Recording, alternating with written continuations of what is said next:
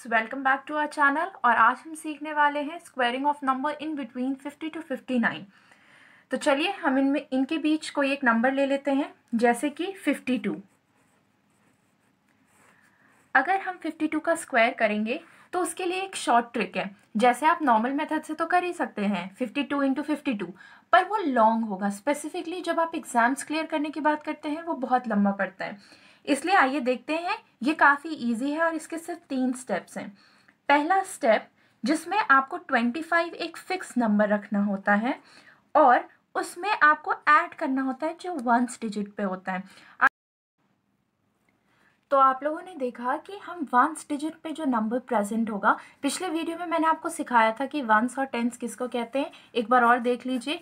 ये होता है वंस पोजीशन और ये होता है टेंस हमें याद रखना है कि जब हम ये ट्रिक सीख रहे हैं, हमें वंस और टेंस प्लेस का ही काम है और ये बहुत इंपॉर्टेंट है। तो जो भी यहाँ पे वंस प्लेस पे प्रेजेंट होगा, हम उस नंबर को ऐड कर देंगे ट्वेंटी फाइव के साथ।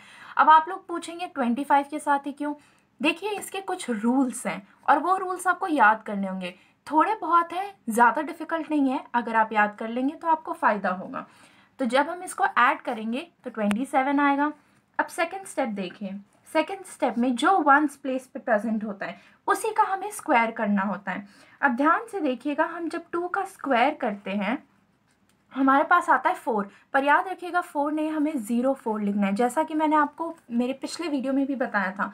ये चीज़ याद रखिएगा और ये बस इतना आसान है कि आपको जो फ़र्स्ट और सेकंड स्टेप पे जो भी रिज़ल्ट आया है, उनको कंबाइन करके लिख देना है थर्ड स्टेप पे। तो ये आ गया फिफ्टी टू का स्क्वायर इस चीज़ को ध्यान रखिए, आप कैलकुलेटर से भी चेक कर सकते हैं कि यही आंसर आएगा। तो जैसा कि आप लोगों ने देखा कि ये कितना आसान है, जैसे हमने पिछले वीडियो में देखा था कि जब हमें 90 से 99 के बीच स्क्वायर फाइंड करना होता था तो हम 100 को एक फिक्स डिजिट रखते थे यहाँ पे। अब जैसे जब हमें 50 से 59 के बीच फाइंड करना है तो हम यहाँ पे 25 रखेंगे। अगर ये आप याद कर लेते हैं तो आपके क्वेश्चन और सरल बन जाएँगे, जिससे आप अपने क्वेश्चन को ईजिली कर पाएँगे। तो आइए एक बार और देखते हैं। जैसे 52 का स्क्वायर करना है हमें तो हम यहाँ पे करेंगे 25 डिजिट को फिक्स प्लस हम जो वंस प्लेस पे प्रेजेंट होता है, उसको लिख देते हैं ऐड करते हैं रिज़ल्ट आता है। फिर जो वंस प्लेस पे प्रेजेंट होता है, उसी का स्क्वायर फाइंड करते हैं। जब स्क्वायर फाइंड करते हैं तो याद रखना होता है कि वंस और टेंस प्लेस दोनों लिखना होता है और फिर रिज़ल्ट कंबाइन कर देते हैं। अब आप खुद ही देख लीजिए, जब इसको हम 52 टू इंटू फिफ्टी करके सॉल्व करेंगे तो काफ़ी लंबा पड़ेगा। आधे से ज़्यादा बच्चों को तो टेबल्स भी याद नहीं होते। तो ये कुछ आसान टेक्निक्स हैं जो आपको हेल्प करेंगे। तो इसके सिर्फ़ तीन स्टेप्स हैं जो मैंने आपके लिए लिख दिए हैं। आप एक बार देख लीजिए। स्टेप वन है add twenty five to the ones digit step two है square the ones digit step three है place the result from step two obtained in the next step that was obtain from step one simple सी बात है, जैसे आप देख रहे हैं fifty three का स्क्वायर जब हमें करना होता है तो जो भी वंस डिजिट पे प्रेजेंट होगा हम उसका क्या करते हैं? हम उसको 25 में ऐड करेंगे, जो रिज़ल्ट आएगा, फिर वन डिजिट को स्क्वायर करेंगे और दोनों को कंबाइन कर देंगे। तो ये जब आप टेक्निक सीख लेंगे तो आप लंबे से लंबे कैलकुलेशंस को कुछ ही सेकेंड्स में कर पाएँगे और जितना प्रैक्टिस करेंगे, उतनी जल्दी आप समझ पाएँगे। तो दोस्तों, अगर आपको समझ आ गया हो तो एक बार pause the video to note it down और यहाँ पे एक और चीज़ देख लीजिए। कि यहाँ पे 53 के स्क्वायर के लिए देखिए कितने आसानी से कर सकते हैं। 25 आपको नंबर याद रखना है। वंस प्लेस पे जो भी है उसको लिख देना है ऐड करके यहाँ पे लिखना है। जो भी वंस प्लेस पे प्रेजेंट है उसका स्क्वायर करना है और उसको यहाँ पे लिख देना है। रिज़ल्ट कंबाइन कर देना है। ये याद रखिएगा कि जब आप इसका स्क्वायर कर रहे हैं, ये ना कि आप सिर्फ़ नाइन लिखें। आप यहाँ पे ज़ीरो नाइन लिखेंगे। तभी ये रिज़ल्ट सही आएगा, वरना टू एटी नाइन आ जाएगा आपका रिज़ल्ट तो ये याद रखना है कि वंस और टेंस दोनों को लिखना है।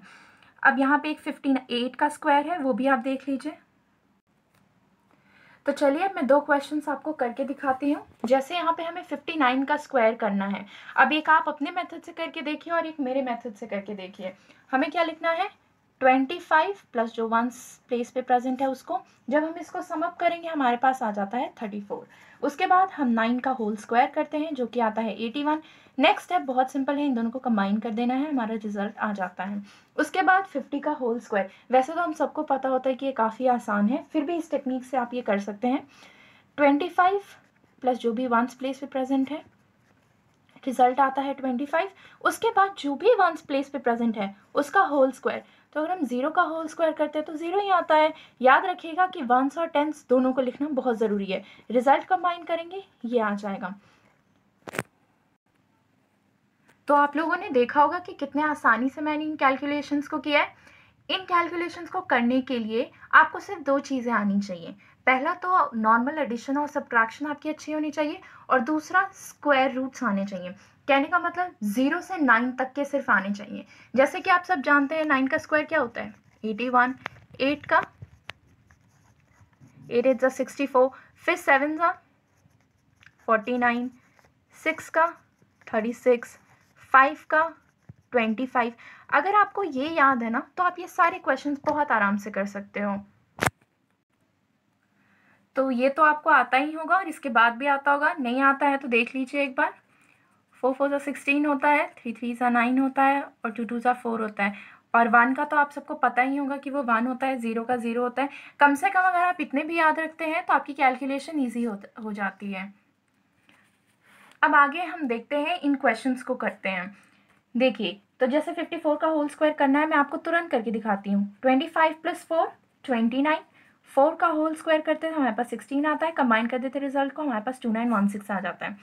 फिर यहाँ पे हम करते हैं ट्वेंटी फाइव प्लस सिक्स जो कि हम, हमें मिलता है थर्टी वन फिर हम सिक्स का होल स्क्वायर करते हैं, हमारे पास आ जाता है थर्टी सिक्स कंबाइन करते हैं result three one three six तो आपने देखा कितने कम टाइम में मैंने दोनों कैलकुलेशंस कर दिया। अब वही अगर आप fifty six into fifty six या fifty four into fifty four करने बैठेंगे तो आपको बहुत टाइम जाएगा। सिमिलरली आप इन दोनों के आंसर्स मुझे कमेंट करके बताइए। और और इन टेक्निक्स को आप रिवाइज करते रहें और इसके लिए आपको थोड़ी सी एडिशन सब्ट्रैक्शन की प्रैक्टिस चाहिए, वो तो आप कर ही सकते हैं। और इन टेक्निक्स को, इन कैलकुलेशंस को मन में इंस्टॉल कर लीजिए, इससे आपको काफ़ी फ़ायदा होगा। और आगे इन दो क्वेश्चंस के आंसर्स आप मुझे कमेंट करके बताइए यूजिंग द सेम टेक्निक इससे आपको ही फ़ायदा होगा। और अगर आपको मेरी वीडियो पसंद आई हो तो please like share subscribe and press the bell icon for more videos like this